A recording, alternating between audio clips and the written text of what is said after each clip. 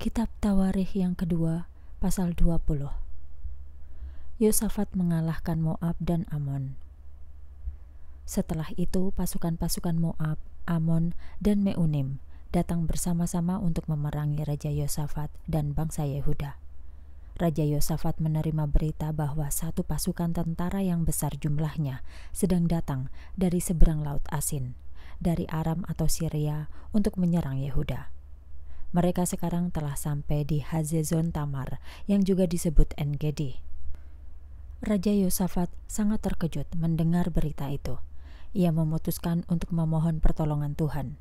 Maka ia mengumumkan kepada segenap bangsa Yehuda untuk berpuasa selama beberapa waktu dan bertobat serta berdoa kepada Allah.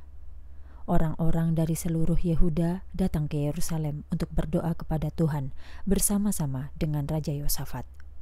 Raja Yosafat berdiri di tengah-tengah mereka pada waktu mereka berkumpul di depan bait Allah di halaman yang baru dan berdoa demikian. Ya Tuhan, Allah nenek moyang kami, Allah semesta alam yang bersemayam di surga, penguasa atas semua kerajaan di bumi, Allah yang maha kuasa dan yang maha besar.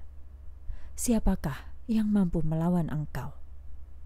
Ya Tuhan Allah kami, Bukankah engkau yang mengusir bangsa penyembah berhala penduduk negeri ini ketika umatmu tiba di sini? Bukankah engkau yang telah memberikan negeri ini kepada keturunan Abraham, sahabatmu, untuk selama-lamanya? Umatmu telah menetap di sini dan telah membangun bait Allah ini untuk tempat kediaman namamu yang kudus.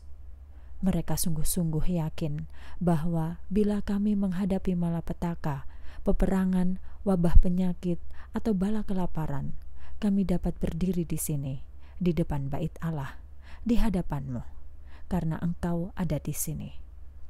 Kami berseru kepadamu agar engkau mendengar doa kami dan menyelamatkan kami.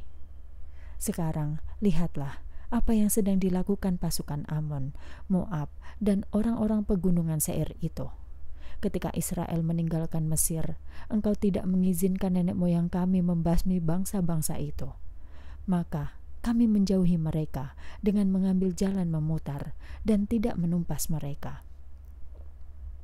Lihatlah bagaimana mereka membalas kebaikan kami. Mereka datang untuk mengusir kami keluar dari negeri yang telah diberikan Tuhan kepada kami. Ya Allah kami, tidakkah Engkau akan menghentikan mereka? Kami tidak sanggup melindungi diri terhadap serangan pasukan yang demikian besar jumlahnya itu. Kami tidak tahu apa yang harus kami lakukan, tetapi kami berharap kepadamu semata-mata.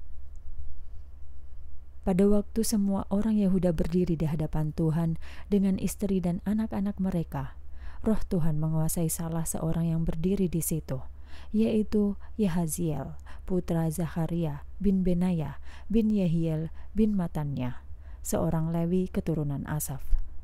Ia berseru, Dengarlah, hai umat Yehuda dan penduduk Yerusalem dan baginda Raja Yosafat. Tuhan berfirman, Jangan takut, jangan menjadi gentar terhadap bala tentara yang besar itu. Dalam peperangan ini, bukan kamu yang berperang, melainkan Allah. Besok kamu harus menyerang mereka. Kamu akan bertemu dengan mereka di pendakian Ziz, di ujung lembah yang menuju padang gurun Yeruel.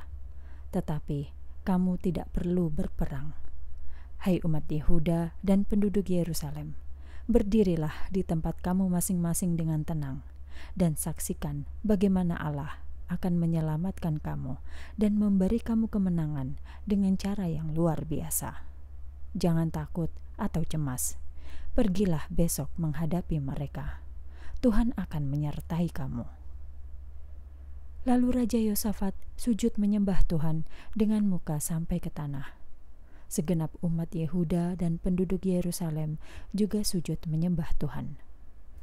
Kemudian orang-orang Lewi dari Bani Kehat dan Bani Korah bangkit berdiri untuk menyanyikan puji-pujian bagi Tuhan Allah Israel dengan suara yang sangat nyaring dan jelas.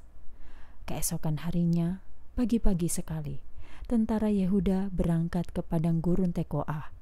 Di tengah perjalanan itu, Raja Yosafat menghentikan mereka dan berkata, Dengarkanlah, hai umat Yehuda dan penduduk Yerusalem.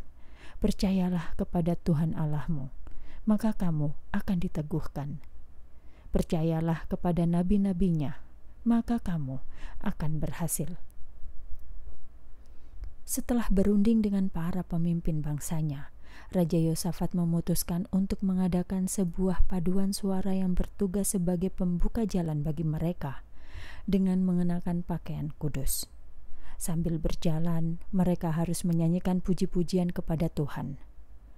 Nyanyikanlah nyanyian syukur bagi Tuhan, kasih setianya untuk selama-lamanya.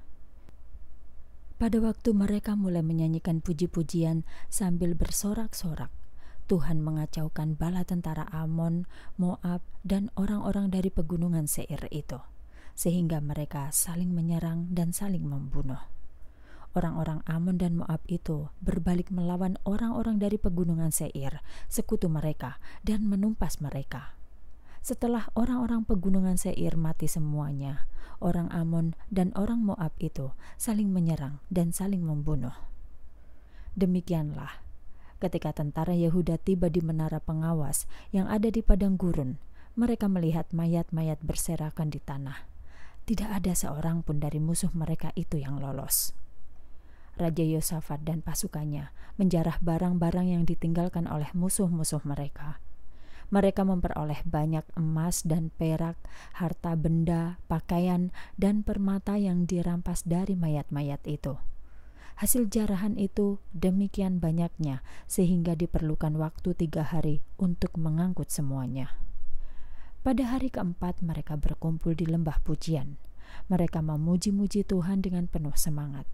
Karena itulah tempat itu disebut lembah pujian sampai sekarang. Lalu orang Yehuda itu kembali ke Yerusalem di bawah pimpinan Raja Yosafat. Mereka kembali dengan penuh sukacita karena Tuhan telah melepaskan mereka dari musuh dan memberi mereka kemenangan dengan cara yang luar biasa. Mereka memasuki kota Yerusalem diiringi bunyi gambus, kecapi, dan trompet menuju ke bait Allah. Dan seperti yang telah terjadi sebelumnya, ketika kerajaan-kerajaan di sekitar mereka mendengar bahwa Tuhan sendiri berperang melawan musuh-musuh Israel, maka perasaan takut akan Allah meliputi mereka. Kerajaan Yosafat menjadi aman dan tentram karena Allahnya mengaruniakan damai sejahtera kepadanya. Akhir pemerintahan Raja Yosafat Inilah riwayat hidup Raja Yosafat secara singkat. Ia menjadi Raja Yehuda ketika berumur 35 tahun. Ia memerintah selama 25 tahun di Yerusalem. Ibunya bernama Azuba, anak Silhe. Ia seorang raja yang baik. Ia hidup benar dalam pandangan Tuhan sama seperti Asa, ayahnya. Tetapi ia tidak menghancurkan tempat-tempat penyembahan berhala di bukit-bukit karena bangsa Israel belum dengan sepenuh hati menaati Allah nenek moyang mereka seluruh riwayat hidup Raja Yosafat serta pemerintahannya dari awal sampai akhir dicatat dalam riwayat Nabi Yehu putra Hanani yang terdapat dalam kitab sejarah raja-raja Israel. Menjelang akhir hidupnya, Yosafat Raja Yehuda bersekutu dengan Ahazia Raja Israel yang sangat jahat.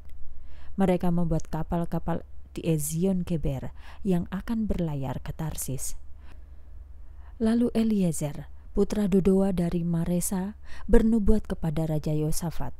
Katanya, karena Baginda telah bersekutu dengan Raja Ahazia, maka Tuhan akan menghancurkan segala pekerjaan Baginda.